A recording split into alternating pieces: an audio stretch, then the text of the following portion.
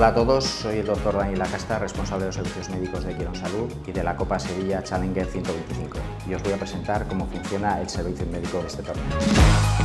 La función de los servicios médicos del torneo es fundamentalmente atender a los jugadores, pero sin dejar de lado al resto del público y el resto de la organización. Al fin y al cabo, somos médicos, somos los servicios sanitarios y estamos a disposición de todo el personal.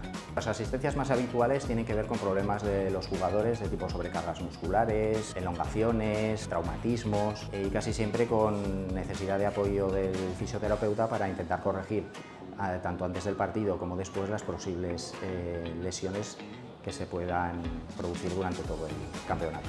Estamos en alerta con una emisora, siempre eh, comunicados con el referee de cada encuentro y entonces ellos son los que nos hacen el aviso a nosotros de que hay un problema en la pista, de que algún jugador tiene un contratiempo, una lesión, cualquier tipo de dolor. Inmediatamente nosotros acudimos, tanto el fisio como el médico, a atender al jugador. Al acudir a la pista, hablamos con el jugador, le, comentamos, le preguntamos sobre su problema, eh, más o menos tenemos entre uno o dos minutos e intentamos solucionar el, problema que tenga o que haya surgido en ese momento. Eh, la filosofía Quirón Salud es estar permanentemente al lado de los jugadores para cualquier problema tanto médico como de otra índole que nosotros podamos resolver. Nosotros queremos ser su referente y estar acompañándolos durante todo el torneo para hacerle más fácil la competición.